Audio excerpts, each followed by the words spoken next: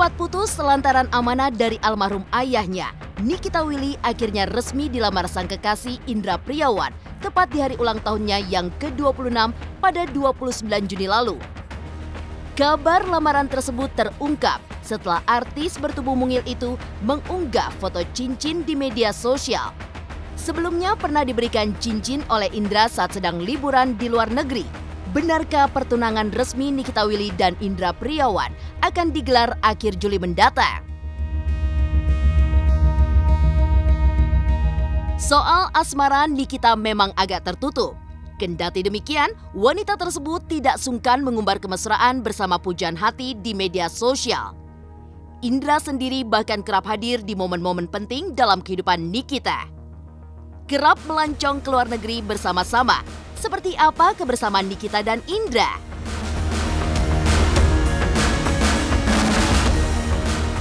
Menyandang status sebagai salah satu selebritis papan atas tanah air, Nikita Willy juga masuk dalam daftar artis yang tak sungkan berbagi kebaikan. Hal tersebut terbukti jelas kala dirinya membangun taman baca Al-Quran bagi anak-anak. Berikan perhatian lebih pada anak-anak, benarkah hal tersebut adalah langkah awal bagi Nikita dalam mempersiapkan diri menjadi seorang ibu. Pemirsa, bersama Intens Investigasi, kami hadirkan kabar terkini, terpercaya, dan teraktual. Tetapi sebelumnya, jangan lupa untuk like, subscribe, dan juga share channel YouTube ini.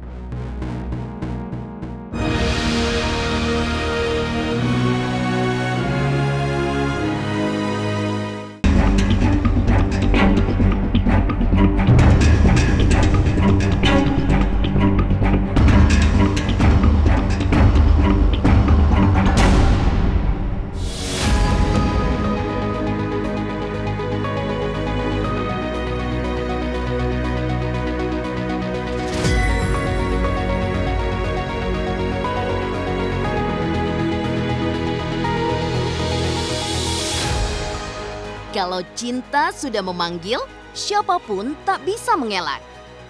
Sempat putus selantaran amanah dari almarhum sang ayah, asmara Nikita Willy dan Indra Priawan akhirnya berlanjut ke jenjang yang lebih serius.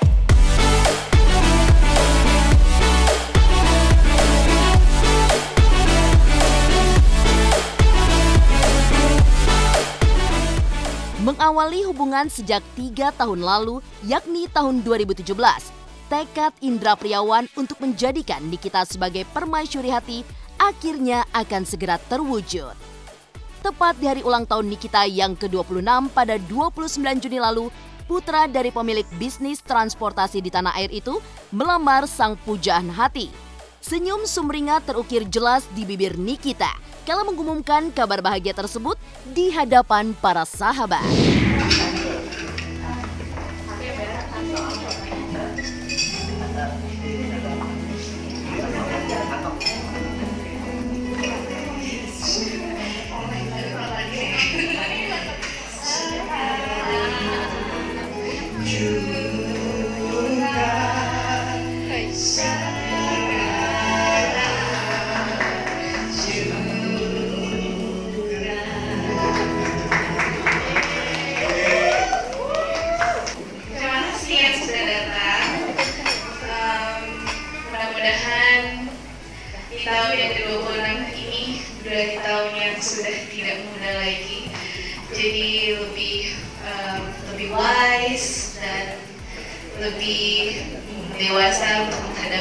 Semua semuanya. Aku pengen, aku dan Indra pengen memberi uh, sedikit announcement that um, we're getting married. Inshallah.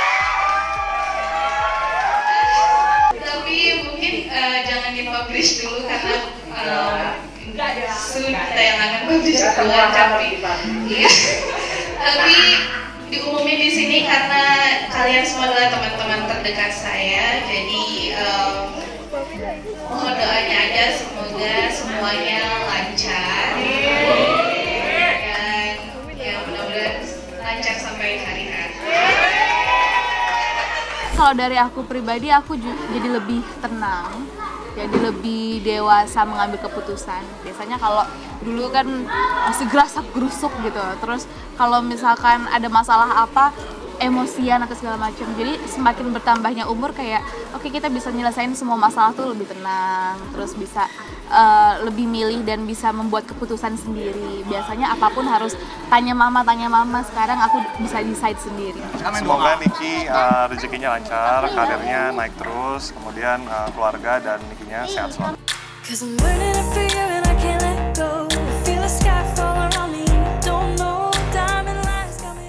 Soal asmara, Nikita Willy mungkin agak tertutup.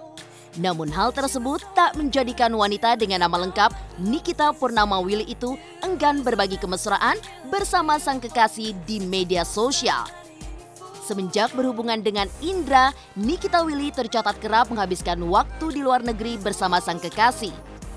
Tiga tahun lalu, di awal-awal cinta bersemi antara dua sejoli tersebut, berlatarkan deburan ombak Indra pernah memberikan sebuah cincin pada Nikita. Tiga tahun berselang, pria tampan tersebut melamar Nikita Willy.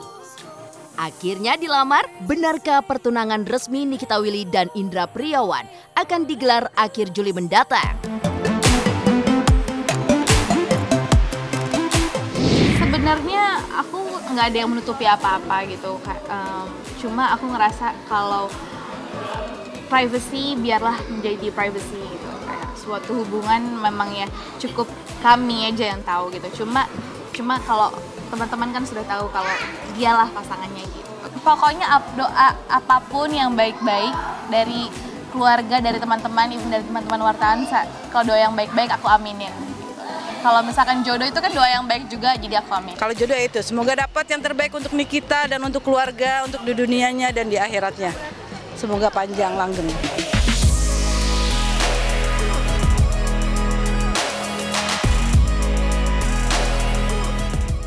Dikabarkan pertunangan resmi Nikita Willy dan Indra Priawan akan digelar akhir Juli mendatang. Sejumlah kemesraan Nikita dan Indra terungkap. Seperti apa kebersamaan pasangan kekasih itu di momen-momen penting Nikita? Pemirsa Intens Investigasi Jangan lupa untuk like, subscribe, dan juga share channel YouTube ini. Jangan lupa saksikan program Intens Investigasi dua kali sehari dari hari Senin sampai Jumat.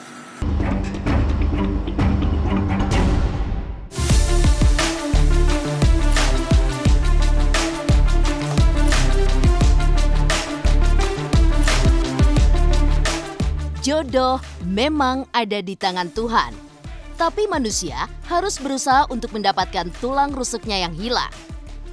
Usaha Indra Priawan untuk mendekati Nikita Willy tak sekedar dengan mengajak sang kekasih liburan ke luar negeri belaka. Sejak awal, kala mulai menjalin asmara, Indra tak segan untuk hadir di momen-momen penting kehidupan Nikita, termasuk ambil bagian bersama keluarga besar sang kekasih. Lantas seperti apa cara Indra mencoba berbaur dengan kehidupan pribadi Nikita Willy? Indra ganteng.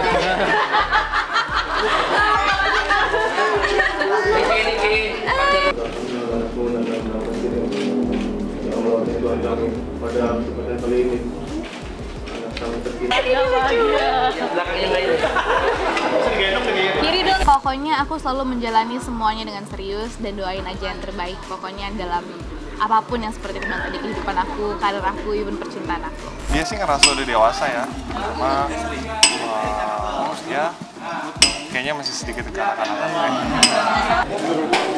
Mami dia Jalan asal aja. Ini minta bas. Kita nggak sama Cindra. Kenapa? Minta bas lagi. Panas. Panas. Jadi pengalaman, pengalaman pertama nggak sih? Uh, motong daging. Kalau motong daging nggak sih, cuma kalau motong uh, kurban pertama kali. Nah, karena memang udah janjian pagi-pagi dia ke sini, nanti sore aku datang ke rumahnya. Dan janjiannya nggak disuruh motong daging sih. Janjiannya apa nih? Janjiannya suruh ke sini aja, tiba-tiba disuruh motong daging. hey you, yeah your colors are changing, the world ain't half bad. Pemirsa Intens Investigasi bukan sebuah rahasia jika Nikita Willy kerap menjelajahi sejumlah negara bersama sang kekasih Indra Priawan. Hal tersebut jelas terbukti lewat sejumlah foto yang terpampang nyata di media sosial Nikita yang baru saja dilamar oleh kekasih hatinya. Banyak momen liburan bareng antara Nikita dan Indra diunggah ke media sosial. Bahkan Nikita sendiri mengaku akan merayakan ulang tahun kali ini di luar negeri andai saja COVID-19 telah mereda. bulan Juni apalagi bulan Juni itu kan ulang tahun aku sudah ada planning buat sama teman-teman. Cuma eh, tidak bisa pergi tiketnya semua udah di refund. Jadi ya insya Allah tahun depan. Cuma karena tahun ini berbeda dari tahun biasanya em, kita ambil hikmahnya aja. Pokoknya setiap dari kejadian pasti ada hikmahnya. Kita cari yang positif positifnya aja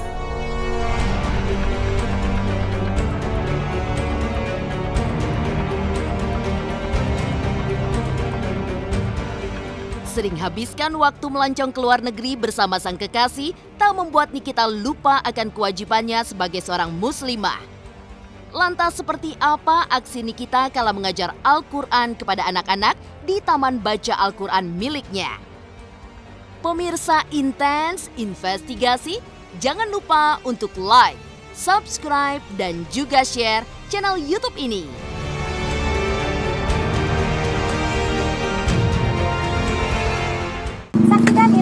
Investigasi tayang dua kali setiap Senin sampai Jumat. Pokoknya nonton terus.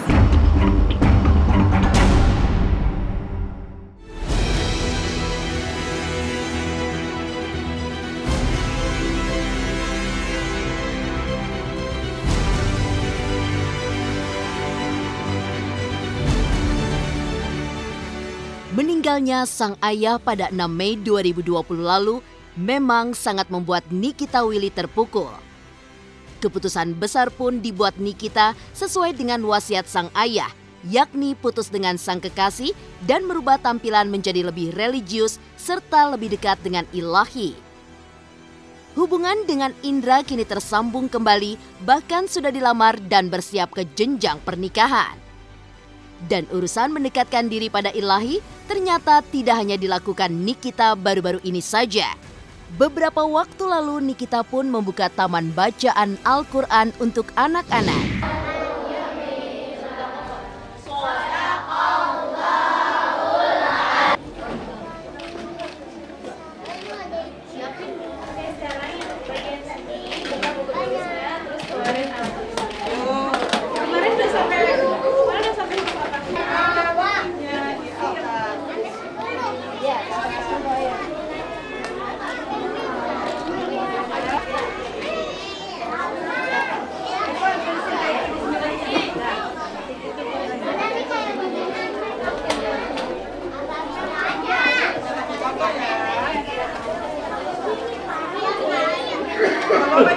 Hari ini memang aku lagi tidak ada kesibukan apa-apa, jadi setiap aku lagi free aku selalu menyempatkan diri untuk datang ke musola ini. Karena apa aku mempunyai anak asuh di sini dan aku mengadakan kayak belajar ngaji bersama adik-adik. Dan setiap free aku selalu ke sini untuk ikut juga mengajar ngaji gitu sama adik-adik semua yang ada di sini. Dari kecil pun aku udah belajar ngaji gitu sama di rumah. Dan senang banget kalau aku bisa berbagi ilmu yang aku punya kepada adik-adik semuanya gitu. Dan aku suka anak kecil jadi aku senang banget bisa berada di tengah-tengah adik-adik aku semuanya ada 84 orang gitu dan memang eh, anak asuh aku dari lingkungan di sini gitu. Mungkin adik-adik yang memang kurang beruntung jadi aku kumpulin dan kita belajar sama-sama di sini. Karena memang tujuannya kan ingin belajar ngaji gitu dan adik-adik di sini juga datang ke sini untuk belajar ikro dan Al-Qur'an Al-Quran gitu. Jadi diberikan nama Taman Al-Quran.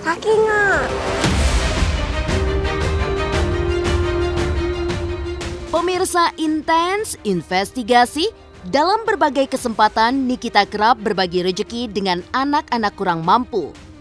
Perayaan ulang tahunnya pun tak jarang dilalui bersama anak-anak yatim atau mereka yang berkebutuhan khusus. Bersikap keibuan dan memberi perhatian lebih kepada anak-anak sejak dini, benarkah Nikita memang sudah siap menikah? Halo,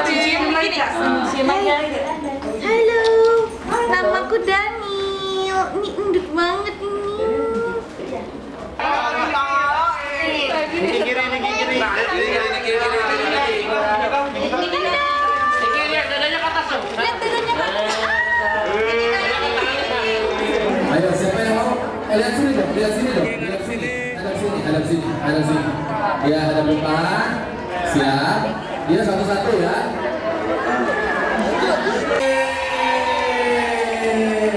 Yang kedua, yang kedua. Mau mau kue nggak?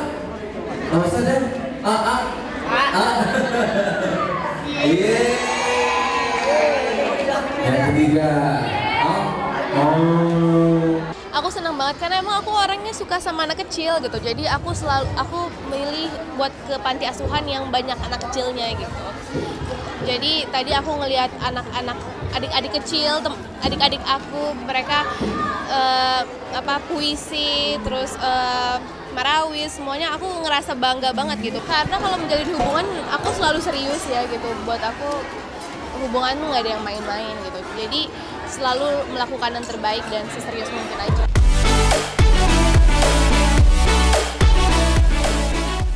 Demikian pemirsa, kabar terkini, terpercaya, dan teraktual yang kami hadirkan hari ini. Saksikan terus Intens Investigasi setiap hari Senin sampai dengan Jumat hanya di YouTube channel. Pastinya jangan lupa untuk like, subscribe, share, dan juga komen channel Intens Investigasi.